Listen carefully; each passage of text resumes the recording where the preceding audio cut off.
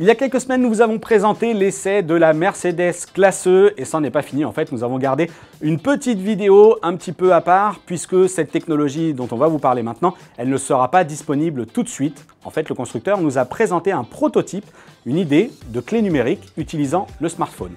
Ce n'est pas spécialement nouveau, nous vous en avions parlé notamment au Mobile World Congress avec Seat et Volvo qui utilisaient déjà le smartphone comme clé de contact. Le constructeur allemand s'y met lui aussi. Regardez.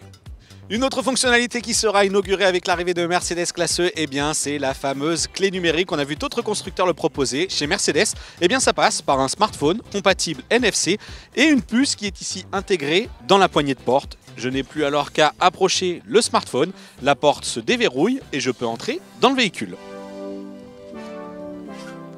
Et voilà donc une fois installé à bord, le smartphone en main, en fait il y a un emplacement prévu ici avec un système de chargement par induction.